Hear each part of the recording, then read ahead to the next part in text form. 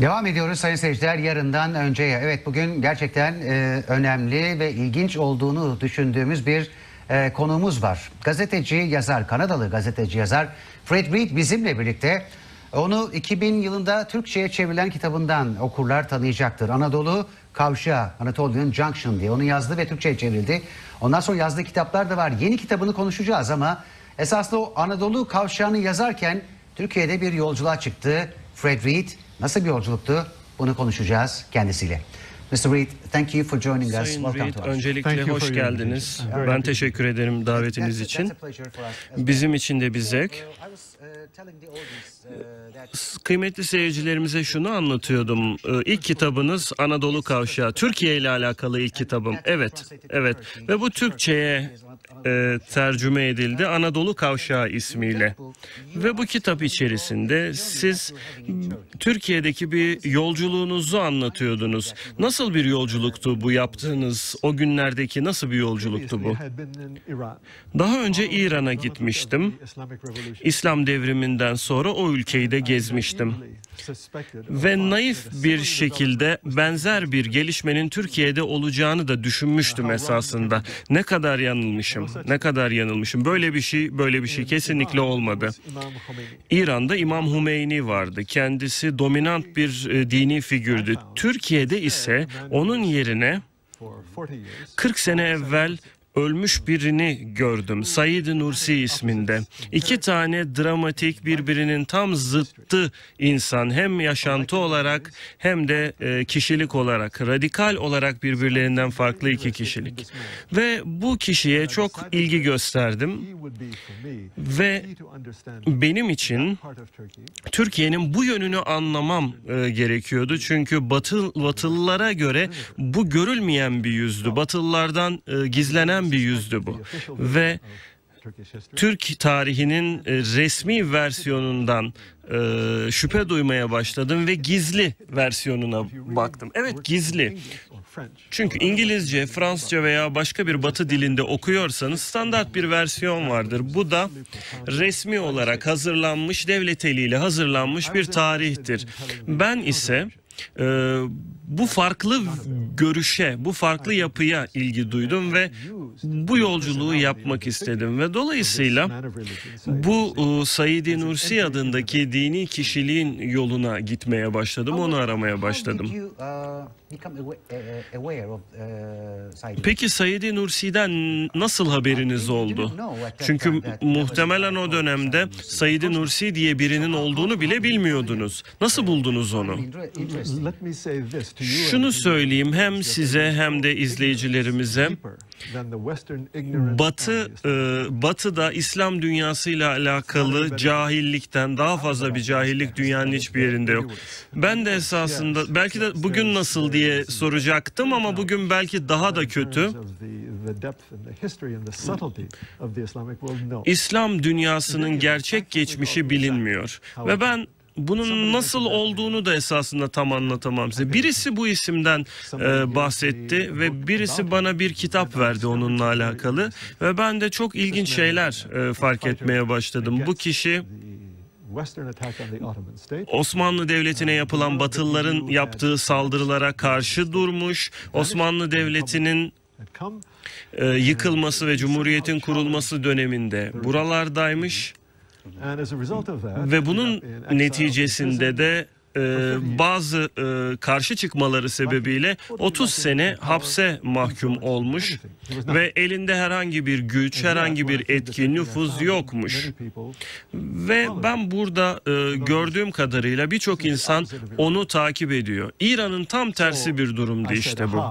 Ve ben de dedim ki işte bu tarihi anlatmak lazım. İşte o zaman bir kavşağa geldiniz değil mi? Evet. Esasında benim amacım e, haber anlatmak değildi. Bir kitap yazmaktı ve bu sayede Anadolu, Anadolu kavşağı başladı. Evet. Uh, Siz Türkiye'de Tü- Türkiye'nin dört bir yanını gezerken neleri gördünüz? Gördüklerinize nasıl bir tepki gösterdiniz o dönemde? Nasıl bir reaksiyonunuz oldu? Ne görmüştüm? Esasında okuduğum kitaplarda yazanın tam tersini görmüştüm. Hem İngilizce'de hem Fransızca'da yazanların ve esasında Yunanca'da okuyabiliyorum. Yunanca'da yazan kitaplar da size oldukça e, ön yargılarla bakar. Ve bu ön yargıların hepsi teker teker bende yıkıldı buraya geldiğim zaman. Esasında benim anlatmak istediğim hikaye gerçekten çok tutkulu bir hikaye. Ve ben Said Nursi'nin ayak izlerini burada izlemeye başladım ve kitabıma başladığım yer Urfa ve boş bir e, kabristandan başlıyor. Ve bir gazeteci veya bir yazar düşünün. Boş bir kabristan görüyor ve daha sonra 1960'daki e, darbeden sonra Adnan Menderes'i deviren darbeden sonra e, askerlerin gelip Urfa'daki bu kabristanlığı imha ettiğini öğrendim ve dedim ki evet işte burada bir şey var. Neden bu bir e, ölü bir insandan neden bu kadar korkuyorlar dedim ve gerçekten çok etkileyiciydi. Peki herhangi bir zorluk e, çektiniz mi? Tüm bu araştırmaları yaparken o dönemde Türkiye'yi dolaşırken hayır hayır hiç çekmedim. Esasında e, gizli bir şeye, e, o zaman çok fazla dokunulmamış bir şeye e, ilgi gösteriyordum. Evet. Ben gerçekten çok alt düzeyde, düşük profilli bir şekilde hareket ettiğim gibi ettiğim için e, hiçbir sıkıntı e, duymadım. Ama ben siyasi olaya bakmadım burada. Kişilik olarak ele aldım. Yani bu kişinin hem sürgüne gönderilmesi e, hem hapislere hapis cezasına çarptırılması bu insanı neden bu kadar etkilemedi? Ve onu takip eden insanlarla karşılaştım. Onlarla kaldım. Ve görebilirsiniz siz de. Ya bir şekilde dengesiz bir e, ön yargı vardı ve dünyanın her tarafında resmi bir görüş vardı. Ben bu noktada gayri resmi bir görüş ortaya çıkardım. Tabii ki bundan daha fazlası var da. Peki kitaptan bahsedelim tekrar. Sizi en çok ne etkiledi? Said Nursi ile ilgili bilgiler öğrendiğinizde ne etkiledi sizi en fazla? Esasında o dönemde dini bir bakışım yoktu olaya. Ama beni en çok vurgulayan karakterinin e, kendine özgülüğüydü. Böylesi bir durumda e, yaşayan bir insan çünkü bir tarafta Osmanlı Devleti'nin çöküşünü görüyor.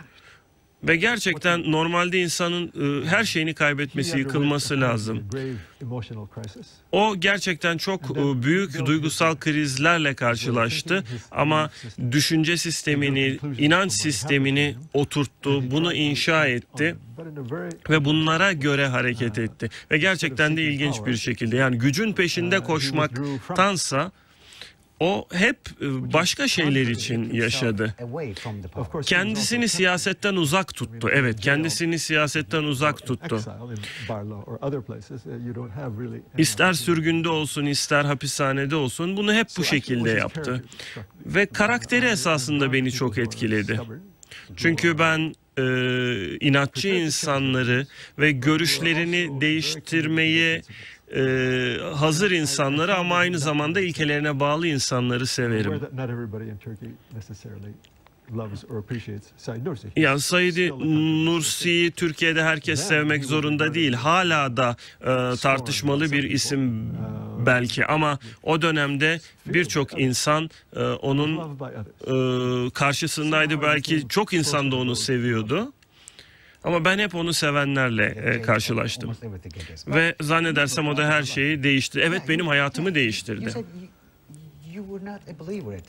O dönemlerde inançlı biri olmadığınızı söylediniz ama ondan sonra evet bir şekilde kulağıma veya kalbime bir şey girdi öyle diyebilirim.